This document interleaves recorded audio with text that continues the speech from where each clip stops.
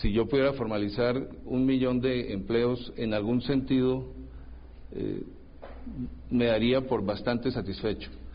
Eh, cambiar reglas a veces es arduo eh, y hay que ir arreglando sector por sector.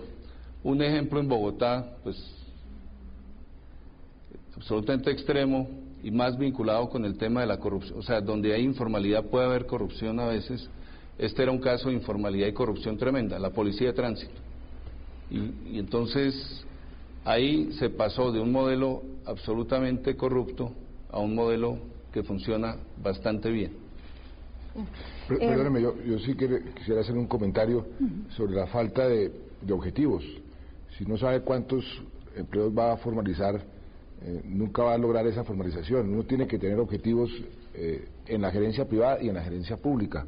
Y uno mide el desempeño de sus funcionarios eh, en función del cumplimiento de esos objetivos. Por eso yo digo, tenemos 500 mil empleos mínimo. Y eso además tiene una repercusión en las finanzas públicas, porque al formalizar eh, hay contribuciones al sector de la salud, al sector de las pensiones, que los tenemos perfectamente contabilizado en nuestras finanzas públicas. Por eso decimos que la formalización de 3 millones de empleos, creación de 2 millones y medio y 500 mil nos produce 1% del PIB y eso es lo que hace que una política eh, de gobierno sea una política coherente. Si uno no tiene objetivos, eh, nunca los va a cumplir. Bien, quiero subrayar, pues me da pena que me toque hacer esto, pero la diferencia entre objetivos y metas. Y me parece que cuando usted pide un número es una meta. Y yo creo que con los instrumentos de planeación, de construcción del plan de desarrollo, pues se fijan las metas. Eh, a estas alturas se pueden fijar algunas. Fijar todas las metas me parece que es es, un buen ejercicio sobre el papel, pero como, a ver, la- las metas están entrelazadas.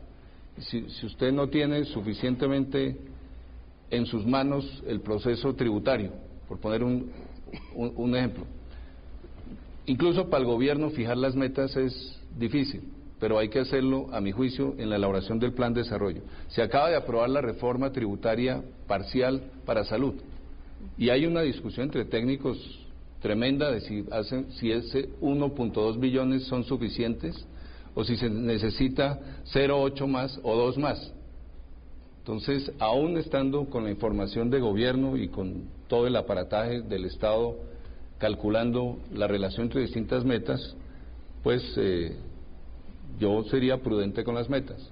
Me, acepto la invitación a fijar metas, eh, no necesita Pero no tiene un mínimo, le dije un millón, le dije... que eso lo cien. haría muy feliz. Sí. O sea, como un máximo. Pero ¿y un mínimo? Pues algo... A ver, en mi vida algo me ha enseñado que es mejor tener propósitos relativamente modestos, formar muy buenos equipos y luego lograr que la, resultados por encima de las metas fijadas.